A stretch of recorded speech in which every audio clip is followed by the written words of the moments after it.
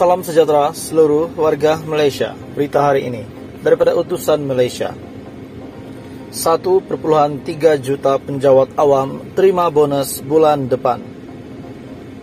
Sejumlah 1,3 juta penjawat awam dan sejuta pesara menerima bayaran bantuan khas keuangan yang melibatkan peruntukan berjumlah RM 1,3 bilion yang dikreditkan ke dalam akaun masing-masing bersekali dengan gaji Januari ini.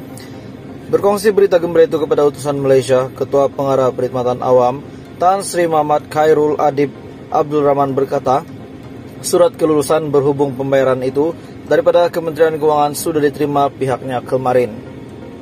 Secara umumnya, yang layak akan dibayar dalam gaji bulan Januari 2022. Dalam pembentangan budget tahun 2022 yang lalu, kerajaan mengumumkan bantuan khas keuangan kepada 1,3 juta penjawat awam grade 56 dan ke bawah sebanyak RM 700, manakala RM 350 kepada sejuta pesara.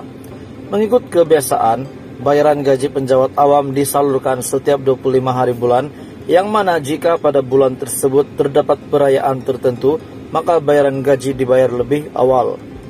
Bayaran bantuan khas itu adalah tertinggi sejak 2019, yang mana sebelum ini penjawat awam dan pesara menerima masing-masing RM 600 dan RM300 pada budget 2021.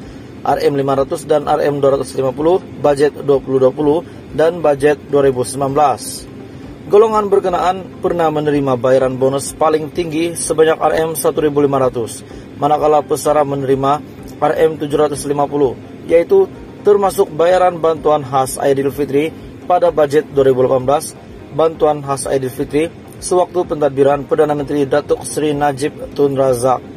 Pemberian bantuan khas keuangan kepada golongan sektor awam itu membuktikan keprihatinan dan komitmen kerajaan untuk terus mendukung dan penyampaian perkhidmatan awam melalui inisiatif pembaharuan dalam budget 2022. Ia sekaligus menunjukkan kerajaan tetap komited meningkatkan mutu penyampaian perkhidmatan awam.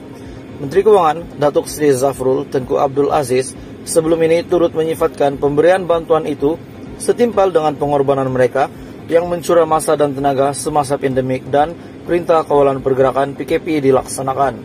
Kata beliau, usaha penjawat awam perlu diambil kira dalam melaksanakan program pemulihan dan imunisasi kebangsaan. Penguat kuasa yang menjalankan penguatkuasaan prosedur operasi standar SOP seperti PDRM dan Angkatan Tentera Malaysia para petugas kesehatan malah ada yang terpaksa korbankan cuti demi menjalankan tugas. Sekian berita hari ini, terima kasih Malaysia kerana menonton.